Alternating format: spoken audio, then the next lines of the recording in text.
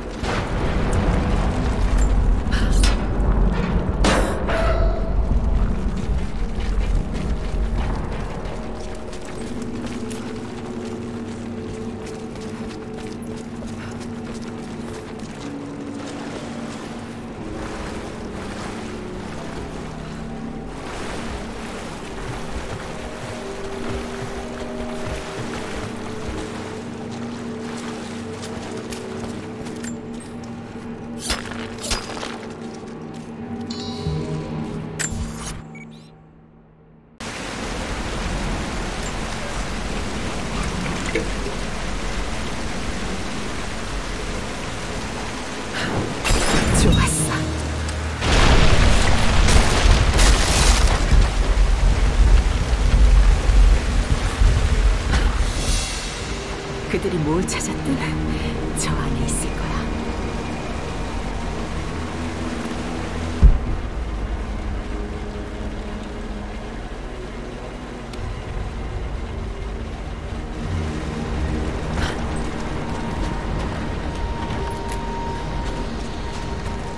누군가 채광 도구와 직접 만든 무기를 숨기고 있었어.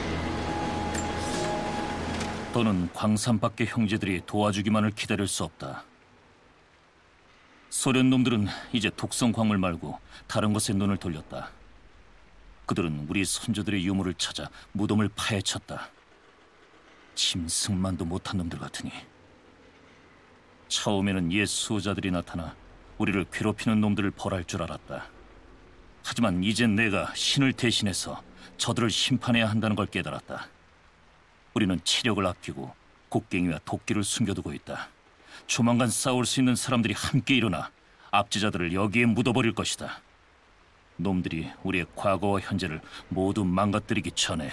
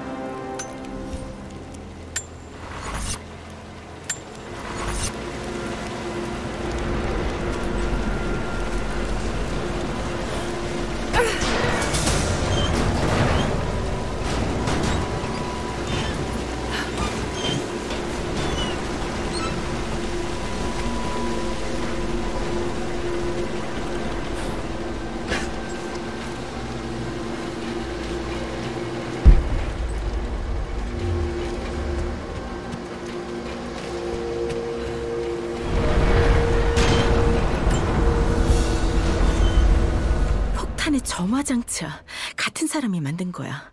아마 오랫동안 보급품을 모았나 봐.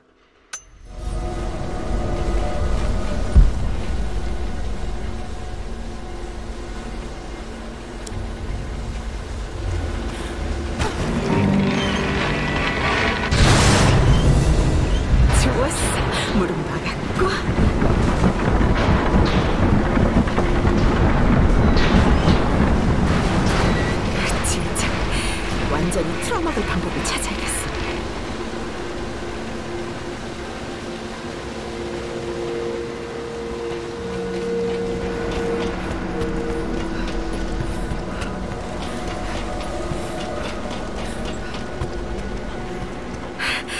저기 있어.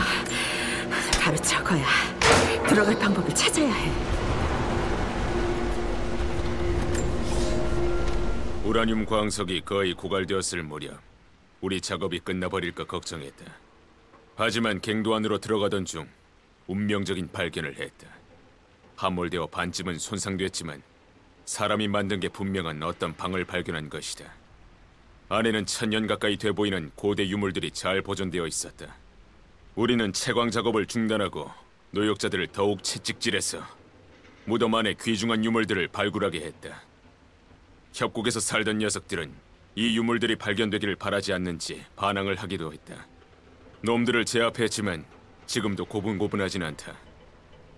불만 가득한 놈들이 더 심각한 일을 벌이기 전에 젊은 몇 놈을 본보기로 삼아야겠다.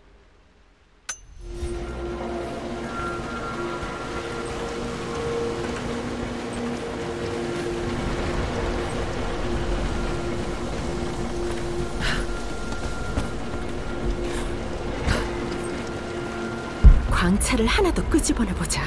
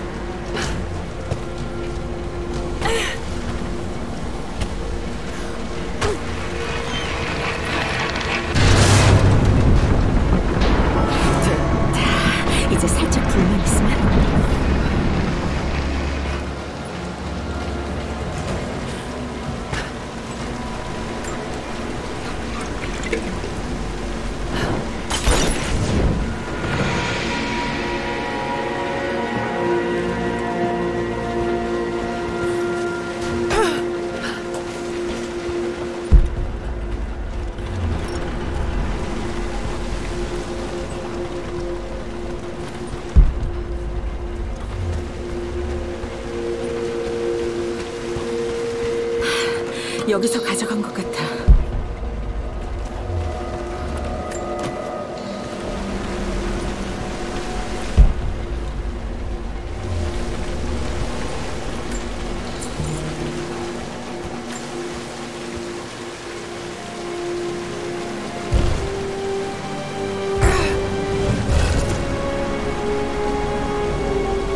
오래된 고문서야. 경계심의 장점에 대한 철학적인 고찰인